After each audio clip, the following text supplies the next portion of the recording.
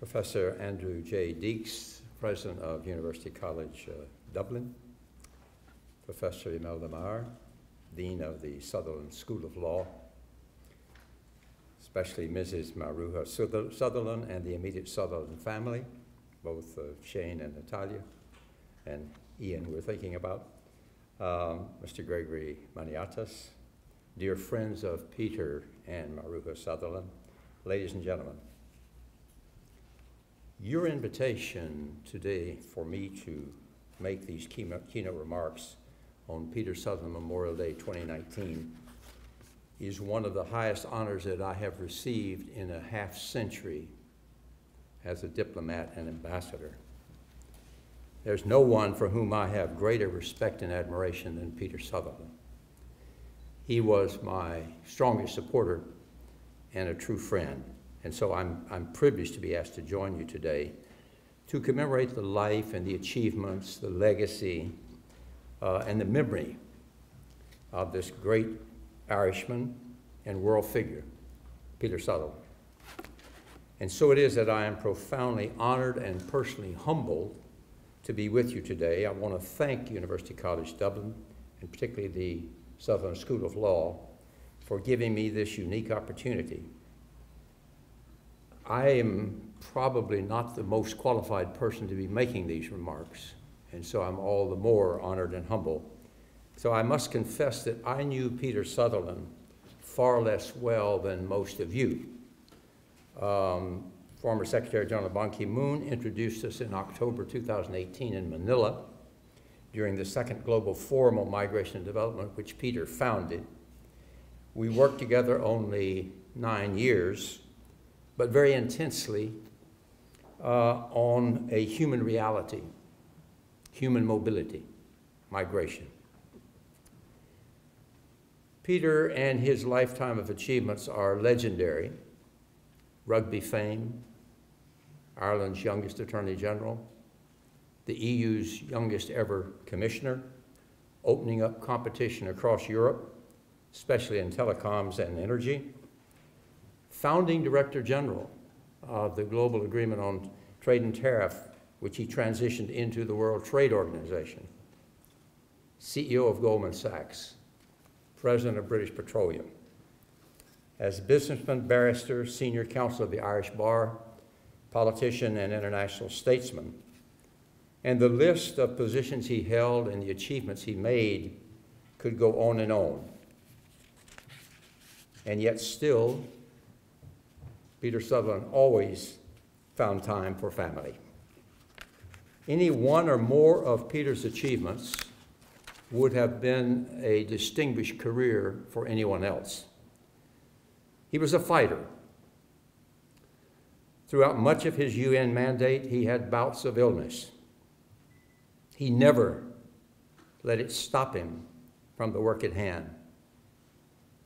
I saw him at the Global Forum in Mexico, the third or fourth annual iteration of that. He could hardly speak. He kept going. And only, uh, he, he was always in demand and himself sought to be a public service until his death. Only a very short time before he fell fatally ill on September 11, 2016, Peter told me that he was actively exploring and testing the waters to enter the race for Secretary General of the United Nations. Given his wide ranging and rich experience and his international profile, he was very well qualified in my view, and would have been an excellent Secretary General. I have no doubt that Peter himself would have said that he succeeded in all of his numerous careers and endeavors only because of his great partner over more than 35 years, his wife Maruja. And I am profoundly honored and humbled by her presence today, together with uh, members of the family. So I will apologize for this overly long introduction, uh, but I would like to highlight now three points about Peter Sutherland uh, from my association with him, brief as it was, points that perhaps show another less well-known side of Mr. Sutherland, aspects that I think need to be better known and remembered. First point is he was a humanitarian. You don't always think of CEOs and people in the business world as being humanitarians. First of all, the Peter Sutherland I knew, admired, and with whom I had the privilege of working very closely was a committed and engaged humanitarian. After all, Peter was a devout Catholic, active in various Catholic and Vatican humanitarian activities, including his recent tenure as president of the International uh, Catholic Migration Commission, ICMC. How many popes did he help? I know that uh, he told me uh, that he was already working, had been asked to work by the Pope on Vatican finances. And I can imagine many other, many other of our Holy Fathers were, were supported by Peter. For more than a decade, he served as the special representative of the UN Secretary General for International Migration, uh, both under the late Kofi Annan and also under Ban Ki moon. In fact, several years before his appointment for migration, Kofi Annan had asked him to be the High Commissioner for Refugees. Responsible as he was, he turned it down because he said, I've got too much already on my platter to take on more responsibilities, uh, and declined. His achievement, and Gregory of Maniatis is with us here, his senior counselor, can tell you in greater detail, but his accomplishments were legion. First of all, he was responsible for the creation of the Global Forum on Migration and Development, GFMD.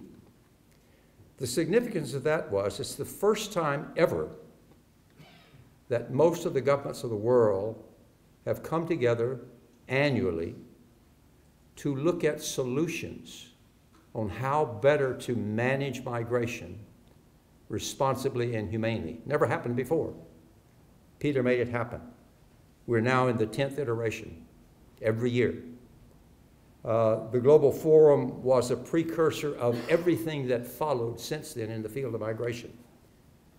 He helped to foster an environment that allowed the member states of the UN to come together in a declaration that called for migration's inclusion in the post 2015 agenda. In contrast to the stark failure of the Millennium Development Goals in the year 2000, even to include a reference to migrants and migration.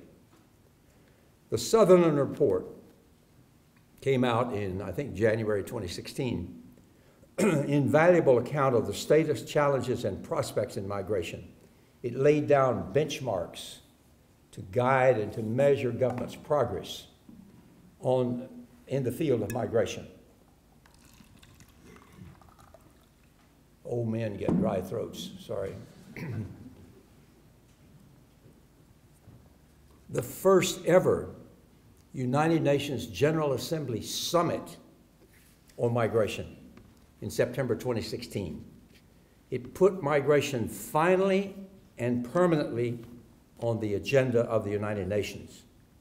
It also celebrated the entry of the International Organization for Migration into the United Nations systems as the first ever United Nations Migration Agency. Think about it. The most important element in the world, people, had never had a focal point within the UN system. Peter made it happen. Two years later in Marrakesh, last December 10, world leaders from 164 nations agreed on a global compact for migration, namely to protect the world's 258 million migrants. That's an underestimate, probably, probably many more.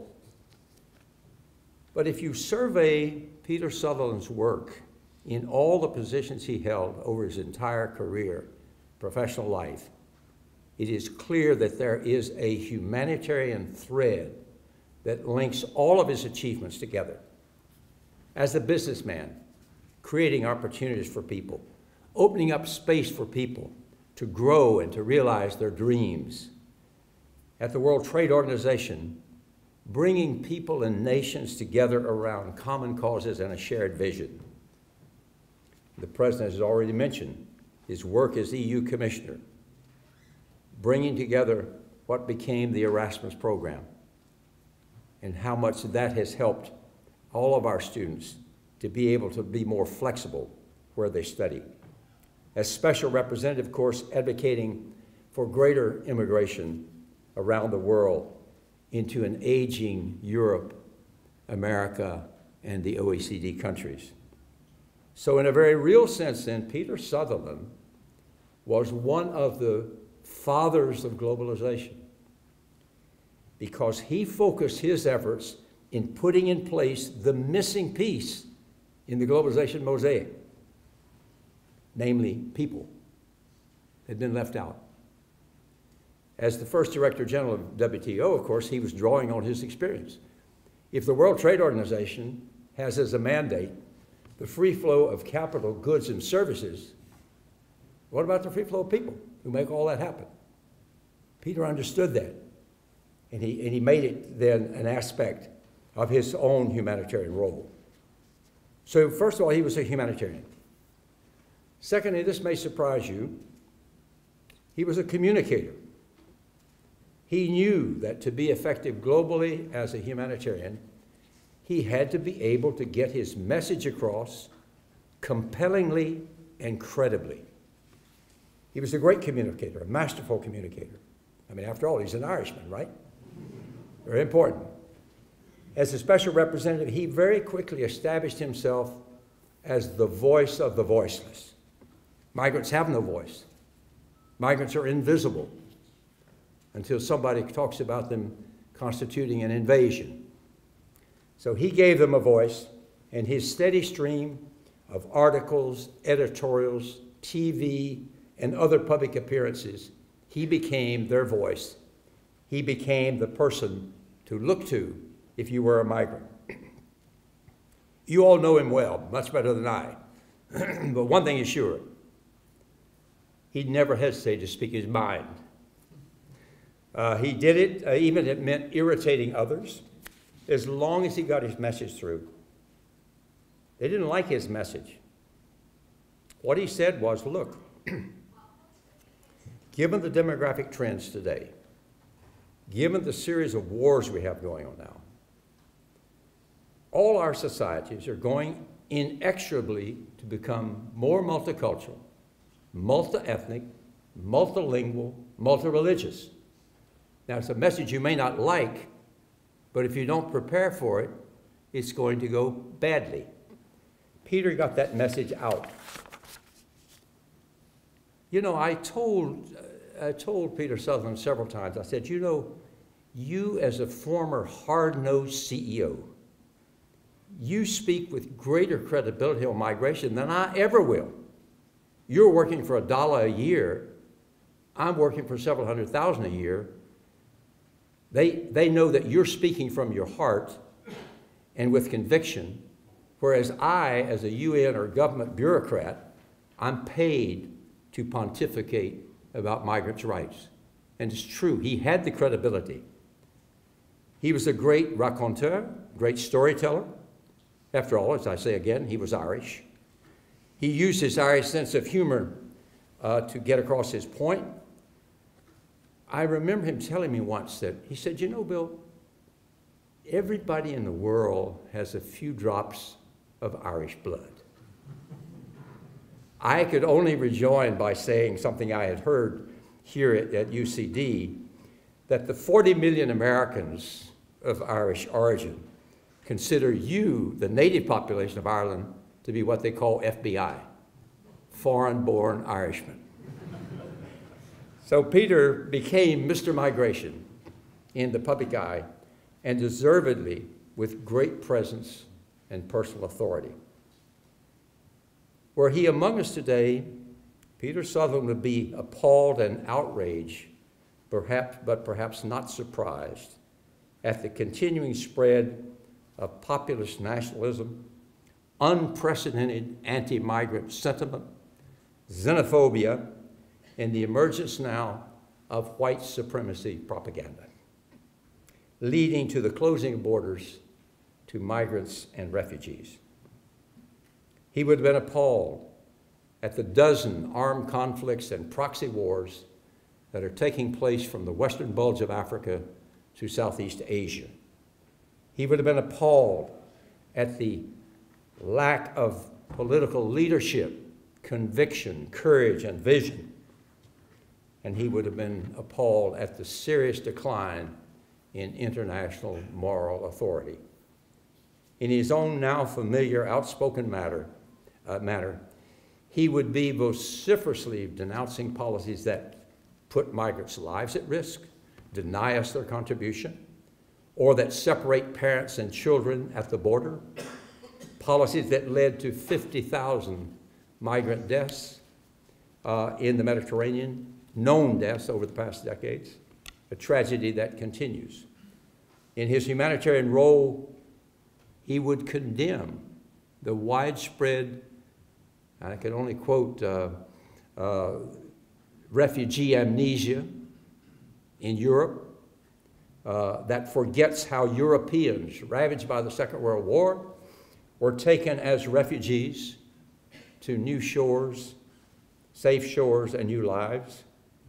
The amnesia that forgets the 200,000 Hungarians who fled 60 years ago to open arms in Austria and then Yugoslavia and today shuts Hungary's borders to migrants. He would have been appalled at all of that. The heinous attack on the mosques in New Zealand two weeks ago was a horrible manifestation of the religious and racial hatred that Peter Sutherland condemned and warned against publicly. Hatred that portrays others as invaders. He also attacked and exposed publicly the many false stereotypes of people on the move. First one is that migrants steal our jobs, whereas in fact we know they do what's called the 3D jobs the dirty, difficult, and dangerous jobs. That's what they do. Uh, and they uh, create jobs themselves rather than taking jobs, especially in the small and medium enterprise economy. he would have attacked the stereotype that migrants are taking advantage of our social welfare systems, health, education. Whereas a World Bank study recently found that migrants very quickly pay back far more than they receive from social welfare. In a joint editorial in 2014 that Peter and I did, we stated, and I quote, evidence shows that migrants contribute more than they appropriate as they foster knowledge transfers trade, tourism, investment, and even job creation. He would have attacked the stereotype that migrants create a security risk. There is no record anywhere that any one of the three million refugees who've been brought to the United States since 1980 has ever been involved in anything even approaching a security incident. The lone wolf terrorist attacks that have occurred Paris, Brussels, Nice, Barcelona, San Bernardino, California, and Orlando, Florida have all been done by native sons and daughters, mostly sons, not migrants. He didn't make himself popular with this outspoken condemnation of anti migrant sentiment policies, but you know Peter so well that he was never concerned about being popular, but rather about doing the right thing people listened to Peter Sutherland, the communicator, because he was a good communicator and because he was passionate about his message. I'm coming to the end, sorry. Third point he was a strategist, he was a strategic thinker. And that's what it really boils down to in the end. Besides being a compelling humanitarian communicator, he knew that to be most effective, he had to think strategically and be able to design a strategy. He demonstrated his ability to get migration onto the world's agenda by means of a carefully calculated strategy. When Gregory and I met the other day in New York, uh, Greg Maniatis sitting here, my friend, reminded me that when Peter was appointed to be the Secretary General's Special Representative for Migration, migration had not yet emerged as the issue it is today. So initially, Peter Sutherland's strategy was let me deal with the processes and the institutions that deal with migration. So initially, uh, this led to some criticism, unjustifiable in my view, but that he should focus more on the migrants themselves. Then, of course, came, came the, what Europe would call the explosion. 1.5 million migrants came across the Mediterranean into Europe, and Europe was all aflutter, and it suddenly became a global issue. Peter would put this in perspective. 1.5 million migrants coming to Europe is less than 1% of the EU's um, population of 550 million. When Angela Merkel said, Wir schaffen das, she must have assumed that some of the 27 other UN member states would follow her lead. Sweden did for a while, but then they fell by the wayside. Lebanon alone, with four and a half million people, has one and a half million Syrians on its territory and a half million Palestinians. So Peter was always providing perspective. And he understood as well as anyone that if migrants were going to be protected and their death toll reduced and their human rights respected, two developments had to occur. Number one, and we mentioned it already, migration had to have a permanent place on the UN General Assembly's agenda. Had to be part of the Sustainable Development Goals and what's called Agenda 2030. In the past, member states of the UN had always managed to keep migration out of the debate, largely for political reasons.